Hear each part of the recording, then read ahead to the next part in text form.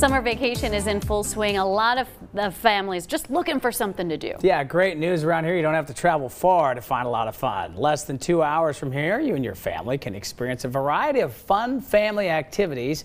News Channel 11's John Jenko shows us some of the fun the Smoky Mountains has to offer in this week's Destination Vacation. This season, Pigeon Forge is breaking new ground.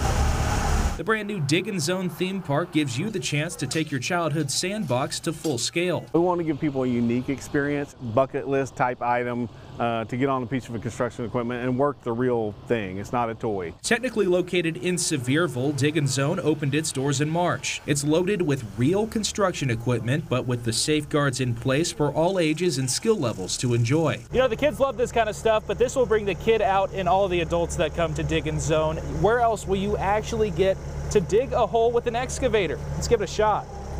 It might take a while to get used to those controls, but Diggin' Zone President Weston Odell says everyone eventually gets the hang of it. It's amazing, too, all the um, equipment that you operate requires a lot of skill and how fast kids pick up on the skill is pretty remarkable. There's also plenty to look at. Big time construction equipment covers the grounds. That's off limits for play, but everyone gets the chance to get hands on with the smaller versions below watching them light up and they come running through the gate just hopping and skipping. And then by the end the parents are usually lit up because they didn't realize how fun it would be. Even experienced equipment operators have never played a game with an excavator. The park offers plenty of thrills. Oh boy. And spills. Here at the Diggin' Zone you can hop on a mini excavator and actually uh, knock over some things and think this is more my speed. There's all kinds of games here. That wide variety of games provides a competitive flair but it also exposes kids to the hands-on experience of a real construction site. It opens up doors for opportunities for vocation. So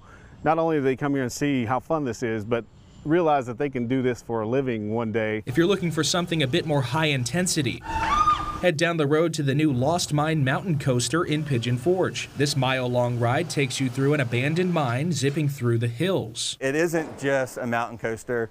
Uh, it, it, really is a full experience. Um, so it doesn't matter if, if you're four years old or if you're 104 years old. Some careful attention to detail went into the theme. All the way from the loading area to the bottom of the hill, there's a story being told. An abandoned mine that bears have taken over and uh, they've, they've found their, their supply of honey. They see that story truly come to life. You control the pace of the coaster. You can ride and enjoy the scenery or go full speed ahead. They say the average time on this thing is about eight minutes. We're going to go for the faster end of that. Go full send here. Let's see what it's got. It's a thrill winding through the four downhill sections on the coaster, but keep your eyes peeled Bears lurk around every corner. You never know what you're going to see, uh, either, either overhead or coming at you uh, as a surprise. And you can cap off the day with a round of mini golf, keeping with that bear theme. In Pigeon Forge, John Jenko, News Channel 11.